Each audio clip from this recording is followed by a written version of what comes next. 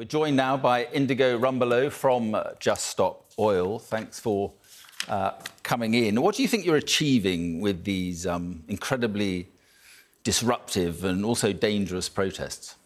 Hello. Um, I'm sure you'll agree we're in an incredibly grave situation with the climate crisis. So Just Stop Oil has one simple demand, and that is that the UK government put an end to licensing new oil and gas in the UK. But, but, but I'm interested to know about these tactics. What evidence do you have that blocking the busiest motorway in the UK, causing endless disruption for tens of thousands of people, is actually achieving anything? We need everybody to come to join us so we don't have to cause this type of disruption on, on the motorways. We need to be sat outside Parliament with tens and tens of thousands of people demanding an end to, to new oil and gas.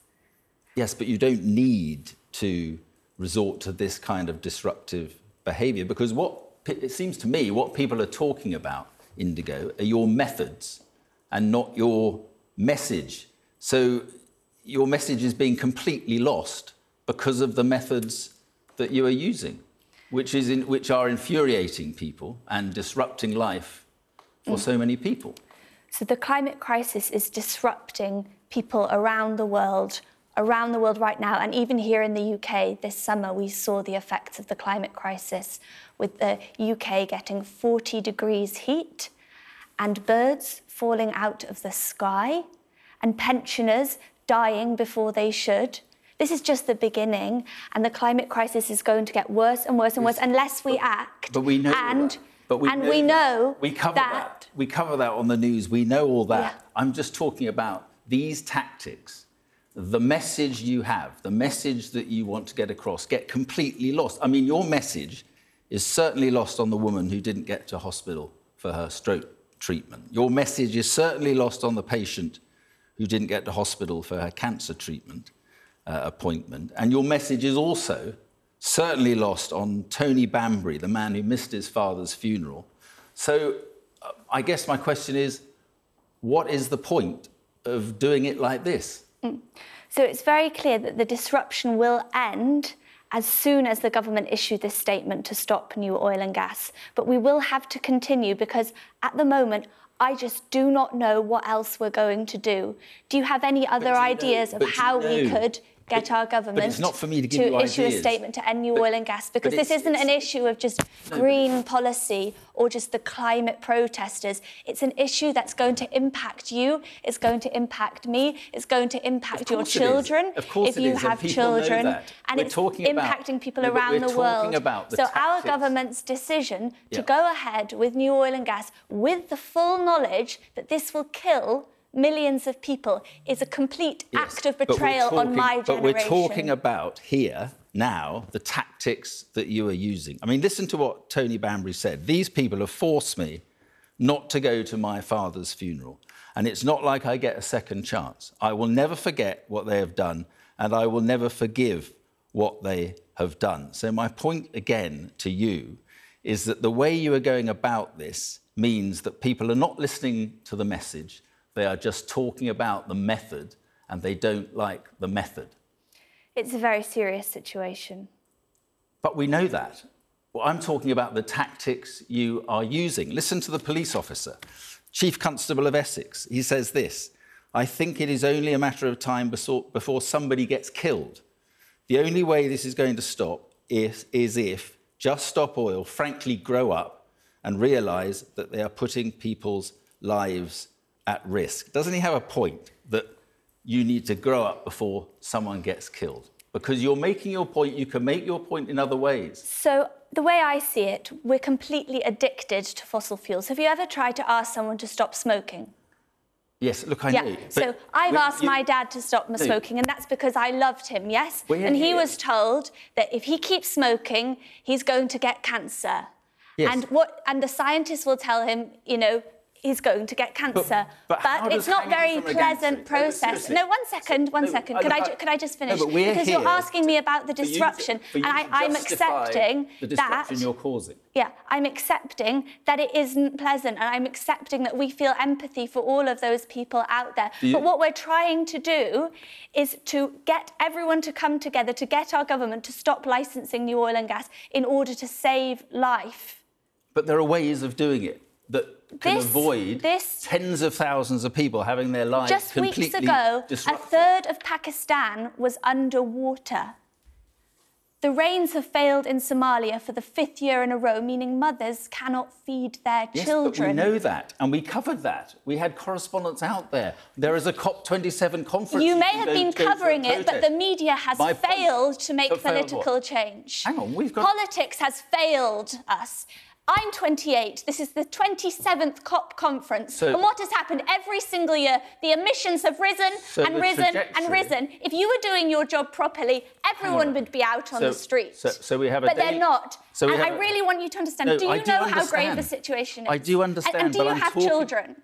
I've got children. I And do you love those children? Indigo, please, I understand the point you're making. You are here today to justify the tactics. You're effectively. Do you love committing... those Listen, children more than you love fossil fuels? You are fuels? committing a crime. Why should... That's answer what we're this. asking you to Answer do. We're this. asking you to side with young ah. people who, who are asking our government very politely, in line with the UN, saying that we Okay. need to come off fossil Okay, fuels. okay.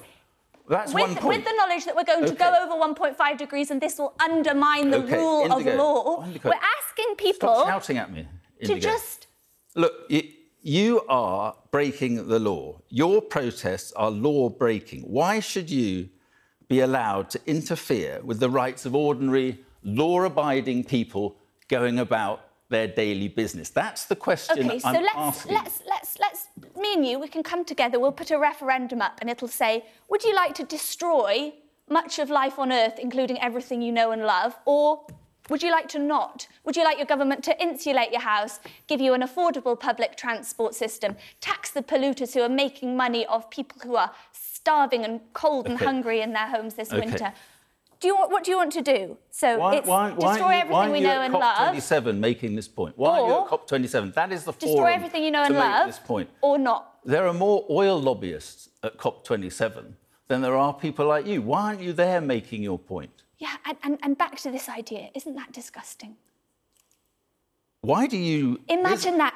Think about my dad when he was smoking. Imagine if the cancer research invited Benson and Hedges into their, you know, into their What do you- debate on what they're going to do this, about answer lung me this, cancer. uh, Indigo, answer me this. What do you achieve? it's disgusting. I'm just, I haven't asked the question yet.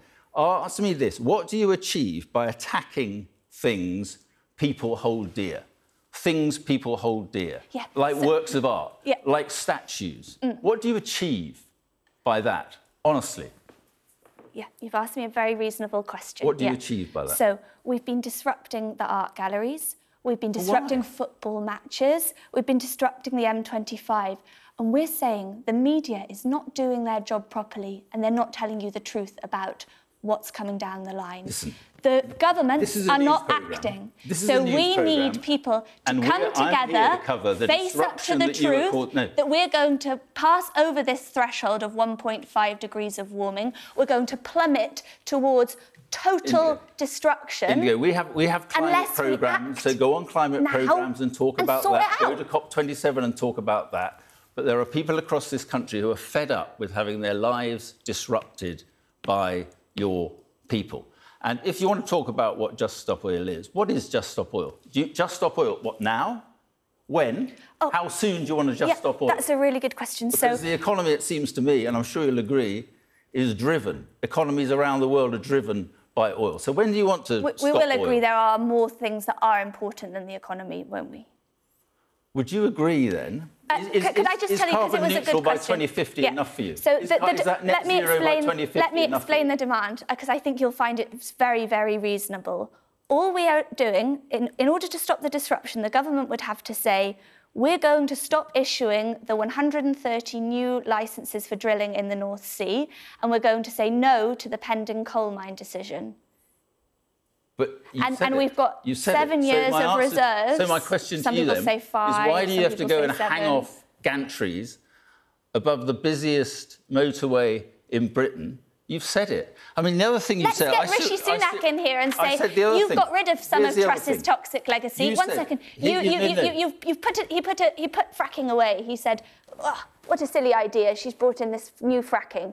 Well, now he needs to say, "I have an opportunity here Here's to go thing. to the COP conference and say Britain is going to lead the way. Indigo. We're going to stop Right. drilling for new Indigo, oil and you gas." said in a newspaper the other day, in order to protect your freedom, your Mm-hmm. rights, and all that you love, will you stand with us? Now, it seems to me that what you're doing on these motorways and what you're doing um, to cause the police no end of problem, and what you're doing in risking your lives as well as people's lives on the motorway, people are not going to come and stand with you. People, how do you expect people to come and stand with you if you are disrupting their lives to this extent? It doesn't take this to get your message across. Okay, so um, if it wasn't for women like the suffragettes, I wouldn't have a vote. I couldn't own anything, I don't think. I, all, every right and liberty that we have, your working rights, my rights to vote as a women, woman, they have been fought for. They weren't just handed down by people down from those with power. They were fought for. And every single one of those liberties that is at risk because of the climate crisis. Okay. Indigo, Rumbelow, thank you very much indeed. Thank you very much. Thank you.